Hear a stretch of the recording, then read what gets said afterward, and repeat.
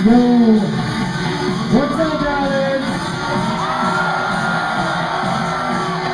I just want to thank all you guys for coming out. I've been coming down for a long time, and you guys have been here for me. You guys have been bringing me out forever. I love you guys so much. Next time, let's not make it so long until I come back.